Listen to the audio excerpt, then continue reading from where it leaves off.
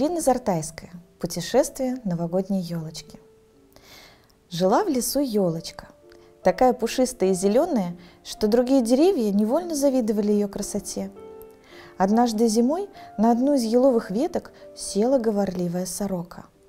Елочка редко прислушивалась к ее пустой болтовне, но в этот раз сорока оказалась так близко, что не слушать ее было просто невозможно. Вдруг Среди обычных сплетен и глупых шуточек елочка услышала что-то интересное. Сорока видела, как дети в детском саду готовятся к новогоднему утреннику. Они уже подобрали песни для праздничного хоровода, выучили все стихи для Деда Мороза. Но вот беда, у них не было елки. Вот глупые, заливалась Белобока, в лесу столько елок, а они слезы льют. Бедные дети, подумала елочка, я обязательно должна им помочь и, ко всеобщему удивлению, ловко выпрыгнула из земли и поспешила в сторону города. Перепуганная сорока вспорхнула с еловой ветки и затараторила «Караул! Караул! Елка сбежала!» Но елочка не обратила на нее никакого внимания. Она очень хотела порадовать ребят и подарить им настоящий праздник. Долго шла елочка по лесу и набрела на хижину. В этой хижине жил старый одинокий лесник. Увидев елочку, он очень обрадовался и сразу же пригласил ее в гости. Елочка с трудом поместилась в небольшой, но теплой кухне. Здесь пахло смолой и сушеными травами. Лесник полил елочку водой, а сам выпил горячего чая с малиной. За разговором елочка рассказала ему, куда направляется. «Это ты хорошо придумала», — похвалил ее лесник. «Я и сам давно не был в городе, соскучился по ребятишкам». «Так пойдем вместе», — предложила елочка. «Вместе Новый год встречать будем». Но лесник только покачал головой. Ему еще предстояло обойти лес и проверить, во всех ли кормушках есть еда для птиц и зверей. Он поблагодарил елочку за приглашение и пообещал, что обязательно придет на праздник, если успеет. Елочка оставила доброму леснику несколько своих ароматных веточек, а лесник повесил на ее иголки маленького соломенного ангелочка. «Я сам его смастерил», — сказал старик и широко улыбнулся. «Спасибо», — сказала елочка, тронутая его добротой, и поспешила дальше. Прошло совсем немного времени, прежде чем елочка встретила маленького зайчонка. Зайчонок горько плакал. «Что случилось, малыш?» – спросила елочка.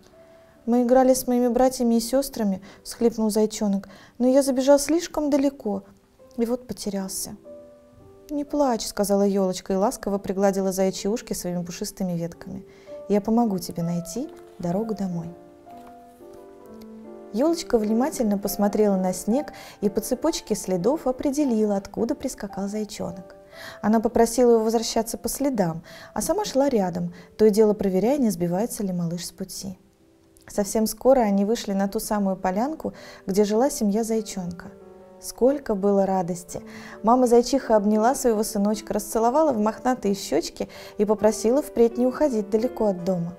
Братья и сестры окружили малыша и наперебой стали расспрашивать, как ему удалось вернуться. А узнав, что ему помогла елочка, стали благодарить доброе деревце за помощь. В знак признательности зайчата украсили елочку яркими оранжевыми морковками. А елочка подарила им в ответ несколько своих самых пушистых веток – попрощалась и пошла дальше. Старые дубы задумчиво провожали ее взглядом. Трескучие сосны изумленно покачивали своими кронами. Долго ли, коротко ли, встретила елочка рыжую белочку. Белочка сидела на снегу и тряслась от страха. «Почему ты сидишь на снегу?» – спросила елочка. «Разве это не опасно?» «Еще как опасно!» – кивнула белочка, выглядывая из-за своего пушистого хвоста. Я уже слышала где-то поблизости вой волков. Но что делать? Я повредила лапку и никак не могу забраться в свое дупло. И на глазах у Белочки блеснули слезы. «Не бойся», — утешила ее елочка. «Я помогу тебе. Хватайся за мои ветки, и я подниму тебя наверх». С этими словами елочка наклонилась к Белочке так низко, что та смогла уцепиться за крону. Аккуратно, чтобы не уронить испуганную зверюшку, елочка стала распрямляться. Раз, два, три. Белочка зажмурила глаза, а когда открыла, увидела перед собой свой дом. Ах, как хорошо! Белочка перелезла на свое дерево и посмотрела на елочку сверху. «Как же мне отблагодарить тебя, милая елочка?» — сказала она и поспешно добавила. «Придумала». Она скрылась в дупле, а уже через секунду выглянула обратно. «Вот», — сказала она, протягивая елочки орешки, желуди и шишки, — «это тебе. Скоро Новый год, и эти маленькие подарки послужат чудесным нарядом для такой красавицы, как ты». Елочка была так тронута, что ей тоже захотелось оставить что-нибудь своей новой подруге. Она аккуратно протянула Белочке несколько своих самых зеленых веточек, сказала ей «до свидания» и продолжила путь. Лес вдруг потемнел, стал гуще, так что елочка с трудом пробиралась между стволами других деревьев. Морковки и шишки покачивались на ее веточках, задевая кусты и сбивая с них снежные шапки. И вдруг елочка услышала протяжный вой, такой же леденящий, как зимний ветер. у Это серые волки пели свою грустную песню. Елочка остановилась и тут же увидела перед собой три пары оранжево-красных глаз, горящих в лесном сумраке точно огоньки. «Что ты здесь делаешь, елочка?» — обратились они к деревцу. «Или ты не знаешь, как опасно гулять по лесу одной?» Но елочка не испугалась. Она знала, что волки ничего не смогут ей сделать, поэтому она только отряхнула свои ветки от снега и спокойно сказала — не тратьте свое время напрасно. Я иду на праздник, и вы не сможете мне помешать.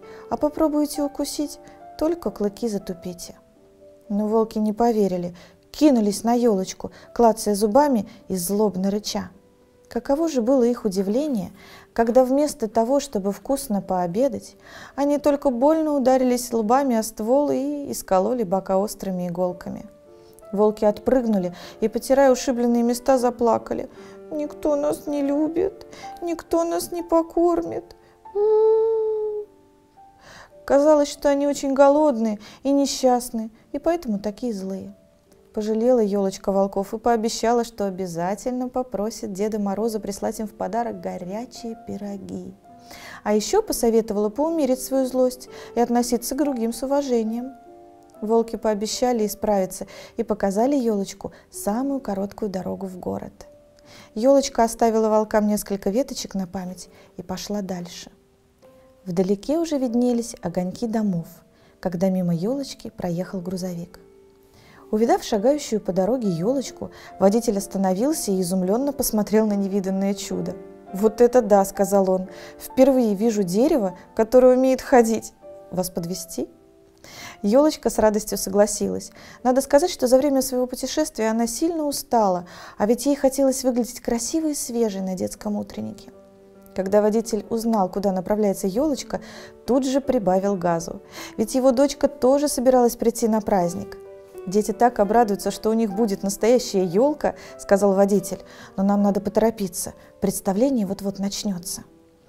Когда они подъехали к крыльцу детского сада, до начала новогоднего утренника оставалось всего несколько минут. Елочка торопливо поблагодарила своего попутчика и, как и прежде, оставила на сиденье маленькую еловую веточку.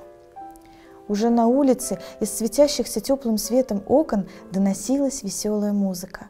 Елочка подобрала нижние ветки, отряхнула снег о порог, вбежала в детский сад и застыла напротив зеркала.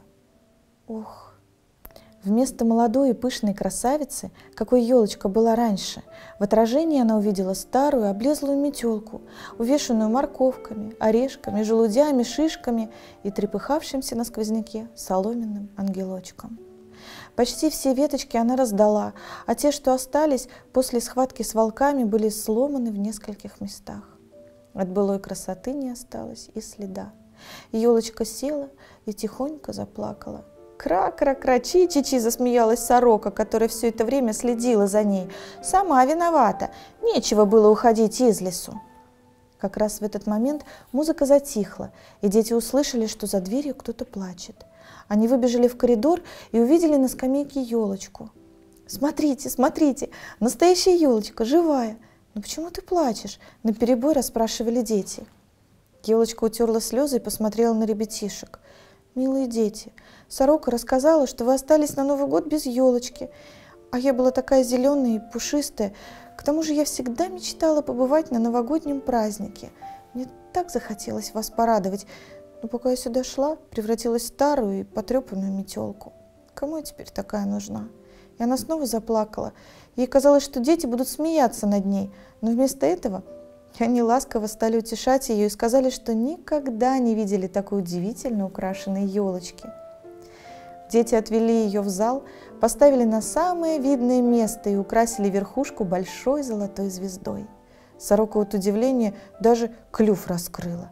А тут и Дед Мороз пришел и стал дарить всем детям подарки. И когда настала очередь елочки, она поклонилась дедушке, поздравила с Новым годом и передала просьбу волков – Дед Мороз улыбнулся и пообещал, что обязательно отправит им самые вкусные пироги из праздничного стола, ведь новогодний праздник должен быть у всех. Но за то, что ты проделала такой трудный путь и помогла всем, кого встречала, сказал Дедушка Мороз, я приготовил для тебя особенный подарок. С этими словами он ударил в пол своим волшебным посохом, и на глазах у изумленных ребят елочка стала такой же красивой и пушистой, какой она была прежде – Морковки, орешки, желуди и шишки смотрелись теперь, как елочные игрушки, а слезы превратились в блестящие бусины. Дети от счастья запрыгали и захлопали в ладоши, а потом взялись за руки и стали водить вокруг елочки хоровод, напевая новогоднюю песенку. А когда Дед Мороз наклонился к елочке, чтобы поправить мишуру, она вдруг уловила знакомый запах смолы и цветочного чая. В ту же секунду соломенный ангел слетел с ее ветки и сел на рукавицу старика. «Я же говорил, что обязательно приду на праздник, если успею», — сказал он и едва заметно подмигнул елочке. А елочка стояла в центре круга и чувствовала себя самой счастливой на свете.